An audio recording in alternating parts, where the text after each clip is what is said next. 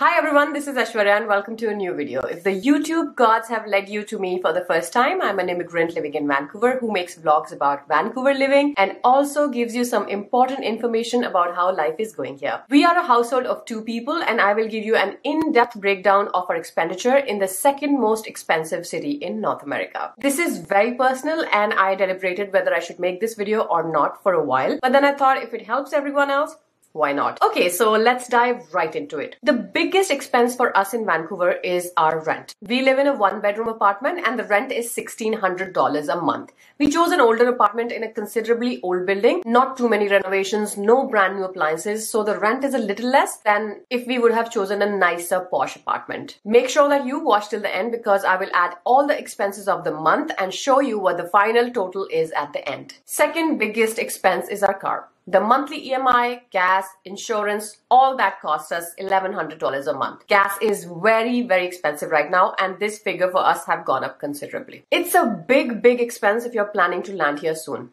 My advice would be to use public transit for the first few months and get a car if you need it and can afford it in a few months later. Let's move to the third largest expense. We are a family of two and groceries for us are $700 a month. We are non-vegetarians and I cook at home a lot. Our groceries include food items like eggs, milk, dough, rice, chicken, fruits, fresh vegetables, butter, oil, spices, many, many things. This also includes monthly supplies of laundry detergent, garbage bags, kitchen towels, all these items. Groceries are super expensive right now. We are spending way much more on groceries than we spent two years ago. Our internet plan is $125. I need to switch to a better plan. I've been too lazy to do that. Phone bills for the two of us are $225. It's high because I have a new iPhone and it's financed. Our cable is $110. Now let's talk about my commute to office. I have a monthly Compass Pass that covers transit. It costs me $181. We like to eat outside at least once a week. One meal on an average with 15% tip costs us $70. So total cost for a month is $280. These are all basic expenses. We need this much money at least to survive, right? But on top of that, shopping, travel, buying luxury items is a plus and more.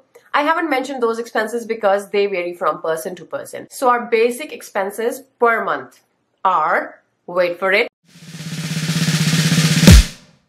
living in Vancouver has been way higher than before because inflation is on a rise. You can also check out this video from me if you want to know more about cost of living in Vancouver. I hope this video would make it easier for you to calculate monthly expenses for your family. If you have kids, you can increase grocery prices accordingly and also refer to this video if you want to know prices of two to three bedroom apartments, grocery items and other expenses in Vancouver. Please do drop any comments or questions in the comment section and I will surely respond to you. If you want to know me more, you can check out my other videos on on how life is for me in Vancouver. There are also some other informative videos for those who want to immigrate to Canada and make Vancouver their home. Thank you very much for watching. I will be back with a new video soon. Until then, stay safe and be kind.